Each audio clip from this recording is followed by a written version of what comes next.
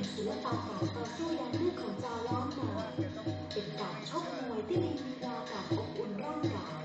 โดยการตีตามกล้ามเนื้อเพื่อกระตุ้นกล้ามเนื้อในร่างกาย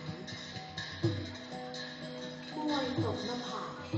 is a kind of defensive art of Lala people. It's a gesture to warm up by beating the muscles to activate the body. มวยตบหน้าผาก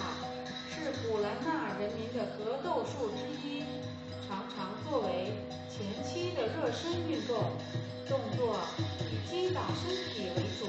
起到刺激和调动全身肌肉的作用。